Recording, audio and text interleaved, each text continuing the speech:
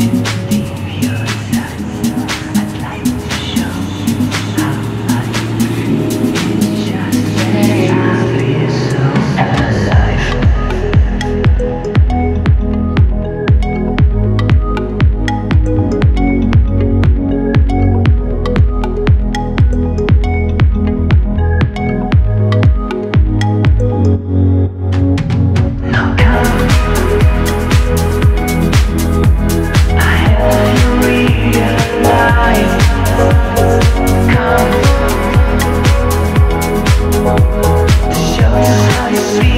Nå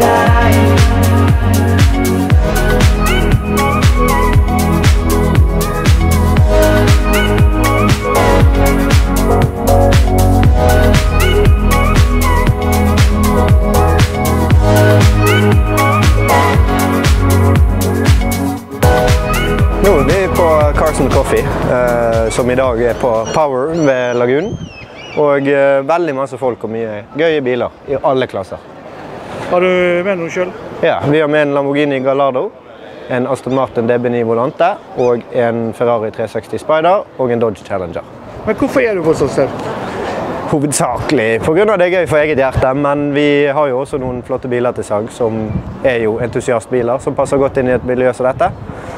Og eh, samtidig som vi syns det er veldig gøy selv.